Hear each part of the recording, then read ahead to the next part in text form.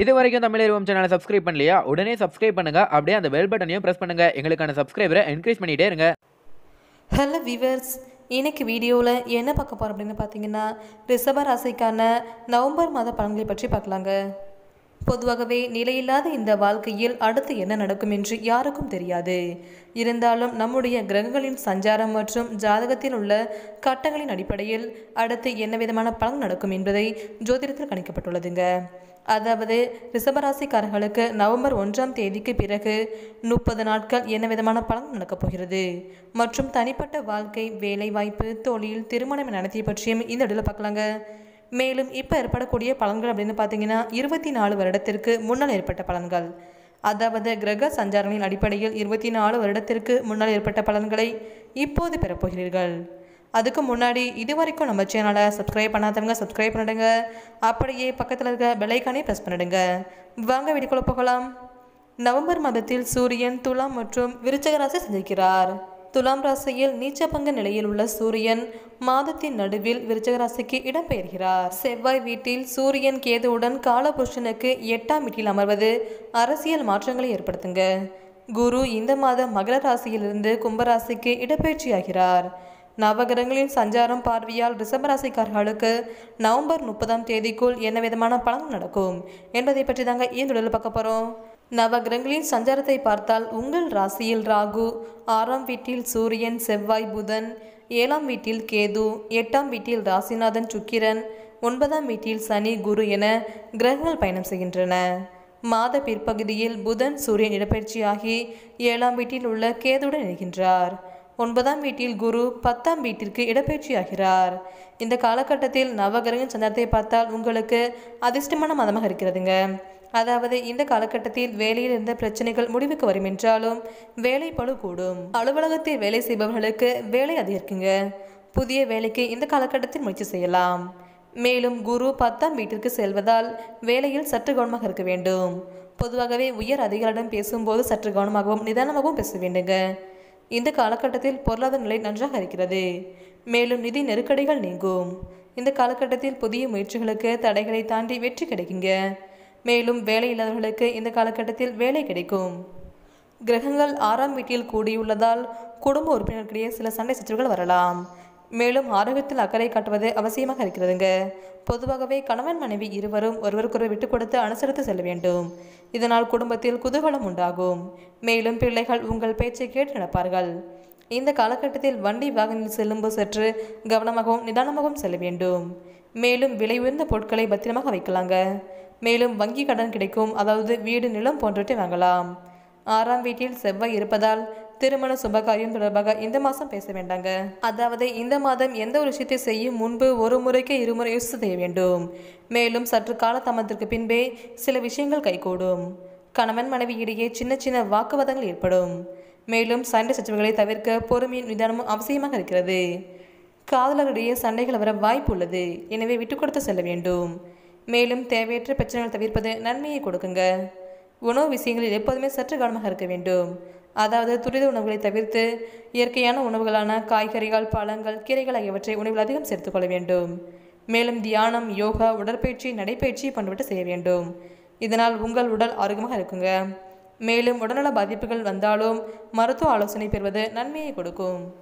மாணவர்கள் இந்த காலகட்டத்தில் கல்வியில் முழு கவனம் செலுத்த வேண்டும். உயர்கல்வி தொடர்பாக எடுக்கும் முடிவு பெற்றோர்கள் சொல்வதை கேட்டு நடப்பது நன்மையை கொடுக்குங்க. ரிஷபராசிக்காரர்கள் நவம்பர் மாதத்தில் அதிக கவனமாகவும் நிதானத்தோடும் இருக்க வேண்டியது அவசியமாக இருக்கிறது. அதாவது இந்த காலகட்டத்தில் வீண் வாக்குவாதங்களை தவிர்த்து பெரியவர்கள் அரசுகளை கேட்டு நடக்க வேண்டும். பொதுவாகவே பண பரிவர்த்தனை போது ரொம்பவே கவனமாக இருக்க வேண்டுங்க. பணம் கொடுக்கும் போதும் வாங்கும் போதும் ரொம்பவே கவனமாக இருப்பது அவசியமாகும். மேலும் பணியிடத்தில் சக பண அனுசரித்து செல்ல வேண்டும். மனதில் பட்டதை அப்படியே பேசாமல் எடுத்துக்கேற்றவாறு பேச வேண்டும். இதனால் உங்களுக்கு நன்மை உண்டாகும். மேலும் வாக்குறுதிகளை அளிக்கும் முன்பு ஒரு முறைக்கு இருமுறை யோசித்து அளிக்க வேண்டும். இந்த மாதம் அனைத்து விஷயங்களும் பொறுமை கடைபிடிப்பது நன்மையை கொடுக்குங்க. குடும்பத்தில் சிறு சில பிரச்சனைகள் ஏற்பட்டு மன அமைதியை பாதிக்கக்கூடும். கூடுமானவரை மற்றவர்களை அனுசரித்து செல்வது அவசியமாக இருக்கிறது. மேலும் பிள்ளைகளை அவர்கள் போக்கிலே விட்டு பிடிப்பது நன்மையை கொடுக்கும். எந்த ஒரு செயலையும் ஒரு முறைக்கு பல முறை போராடித்தான் முடிக்க வேண்டியிருக்குங்க. இந்த காலகட்டத்தில் புதிய ஆடை ஆபரணங்கள் சேரும். விருந்து விசேஷங்களில் கலந்து கொள்ளும் வாய்ப்பு உண்டாகும். கணவன் மனைவிக்கிடையே அன்பு அதிகரிக்கும். வெளிவட்டாரத்தில் உங்களது மதிப்பும் மரியாதையும் கூடும். அரசாங்க விவகாரங்கள் முடிவதில் சற்று தடை தாமதங்கள் ஏற்படுங்க. மேலும் உறவினர்கள் வருகையால் வீட்டில் மகிழ்ச்சி நிலவும். சிலருக்கு குழந்தை பாக்கியம் கிடைக்கும். மேலும் இந்த காலகட்டத்தில் கண் தொடர்பான பிரச்சனைகள் ஏற்படக்கூடும் என்பதால் சற்று கவனமாக இருக்க வேண்டும். மேலும் பணிச்சுமை அதிகமாக இருப்பதால் மன அழுத்தம் ஏற்படுங்க. இந்த காலகட்டத்தில் வாழ்க்கை துணை வழி உறவினர் எதிர்பாராத ஆதாயம் கிடைக்கக்கூடும். பொதுவாகவே கடன் விஷயத்தில் முன்னெச்சரிக்கை நடவடிக்கை எடுப்பது அவசியமாக இருக்கிறது. அக்கம் பக்கத்தில் இருப்பவர்கள் இணக்கமாக பழக வேண்டுங்க. தொழில் வியாபாரத்தில் இந்த மதத்தில் கூடுதலாக உழைக்க வேண்டும். ஆனால் அதற்கேற்ற ஆதாயம் கிடைக்கும் என்று சொல்வதற்கில்லைங்க மேலும் பங்குதாரர்களால் வியாபாரத்தில் லாபம் கூடுதலாக கிடைக்கும். மாத பிற்பகுதியில் அரசாங்க வகையில் எதிர்பார்க்கும் காரியங்கள் அனுகூலமாக முடிய வாய்ப்பு உண்டு. இந்த காலகட்டத்தில் வியாபாரத்தை விரிவுபடுத்த வங்கி கடன் உதவி கிடைக்குங்க. மேலும் குடும்பத்தை நிர்வகிக்கும் பெண்களுக்கு மகிழ்ச்சி தரும் மாதமாக இருக்கிறது. குடும்ப பொறுப்புகளை நிறைவேற்றுவதில் சிரமம் எதுவும் இருக்காதுங்க. அக்கம் பக்கத்து வீடுகளில் உள்ளவர்கள் உதவிகரமாக இருப்பார்கள். அலுவலகத்துக்கு செல்லும் பெண்களுக்கு பணிகளில் கூடுதல் கவனம் செலுத்த வேண்டியது அவசியமாக இருக்கிறது. மேலும் துலாம் ராசிக்கு அதிபதியான சுக்கிரன் வீட்டில் அதாவது ரிஷபத்திற்கு ஆறாம் வீட்டில் சூரியன் சஞ்சாரம் செய்கிறார். இதனால் நோய் எதிரி ஸ்தானத்தில் சூரியன் நீச்சம் அடைந்திருக்கிறார். இந்த மாதத்தில் ரிஷபராசிக்கு நல்ல மற்றும் சங்கடம் தரும் பலன் என இரண்டும் கலந்ததாக இருக்குங்க. குறிப்பாக மாணவர்கள் கடினமாக உழைக்க வேண்டியிருக்கும். படிப்பில் சற்று கவனம் செலுத்த வேண்டுங்க. உங்களின் மனம் அலைப்பாயும் விதமாக இருக்கிறது. இதனால் உங்களால் சரியான முடிவை எடுக்க முடியாமல் திணறுவீர்கள். இருப்பினும் உங்களின் முயற்சிக்கு ஏற்ற சிறப்பான பலனை எதிர்பார்க்கலாம். மேலும் குடும்பத்தில் சில பிரச்சனைகள் மன வருத்தங்கள் ஏற்பட்டாலும் மகிழ்ச்சியான நிகழ்வுகளும் நடக்கும். முடிந்தவரை விட்டுக் கொடுத்து செல்வது அவசியமாக இருக்கிறதுங்க. குடும்ப உறுப்பினர்களை அரவணைத்து செல்ல வேண்டும். மேலும் பேச்சு செயலில் எப்போதுமே சற்று கவனம் தேவை. உங்களின் தேவையற்ற பேச்சு குடும்பத்தில் பணியிடத்தில் குழப்பத்தை உண்டாக்கும். எனவே சற்று கவனமாக இருக்க வேண்டும். உங்கள் தனிப்பட்ட மற்றும் குடும்பத்தின் ஆரோக்கியத்தில் சற்று கூடுதல் கவனம் செலுத்த வேண்டுங்க. நிதிநிலை சற்று குறைவாக இருக்கும். பண வரவு இருந்தாலும் அது வீண் செலவு செய்ய வேண்டியிருக்கும். அதாவது இந்த காலகட்டத்தில் ஆடம்பர செலவுகளை குறைத்து தேவையான செலவு மட்டும் செய்ய வேண்டும். மேலும் ஆரோக்கிய பிரச்சனை வண்டி வாகன பிரச்சனைகள் செலவுகள் ஏற்படும். பணியிடத்தில் நல்ல மதிப்பு மரியாதை அதிகங்க. இந்த காலகட்டத்தில் உங்களுக்கு வருமானம் உண்டாகும். ஆனால் பேச்சில் எப்போதுமே சற்று கவனம் தேவை. சுயதொழில் செய்பவர்களுக்கு முன்னேற்றம் இருக்கும் என்றாலும் புதிய முதலீடு செய்வதில் மிக கவனமாக இருக்க வேண்டுங்க. இந்த காலகட்டத்தில் பெரிய முதலீடுகளை தவிர்க்க வேண்டும். மேலும் மாத தொடக்கத்திலிருந்து சற்று கவனமாக இருப்பது அவசியமாக இருக்கிறது. மேலும் இந்த மாதம் தொழில் ரீதியாக பார்க்கும்போது நன்றாக இருக்கிறதுங்க. பழைய நிறுத்தப்பட்ட பணிகள் வேகமடையக்கூடும். வேலை தேடும் நபர்களுக்கு நம்பிக்கையின் சில புதிய கதிர்களை காணலாம். மேலும் நவம்பர் இருபதாம் தேதி பத்தாவது வீட்டில் குரு அமர்ந்திருப்பதால் பணித்துறையில் ஏற்றத்தாழ்வு ஏற்படக்கூடுங்க. ஆனால் இறுதியில் விஷயங்கள் உங்களுக்கு சாதகமாக செல்ல வாய்ப்புள்ளது. இந்த காலகட்டத்தில் மேலாண்மை திறன்கள் வளர்ப்பதன் மூலம் நீங்கள் பணிபுரிந்தால் எல்லா வேலைகளும் சரியான நேரத்தில் முடிக்கப்படும் மற்றும் உங்களது மரியாதையும் அதிகரிக்குங்க. கல்வியின் அடிப்படையில் இந்த மாதம் உங்களுக்கு மகிழ்ச்சியாக இருக்கிறது.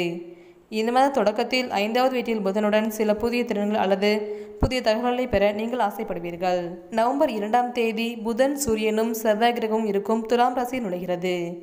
புதன் தனது தொடர்களைப் போலவே நடந்து கொள்கிறார். செவ்வாய் மற்றும் சூரியனின் செல்வாக்கு காரணமாக புதிய யோசனைகள் நினைவுக்கு வருங்க.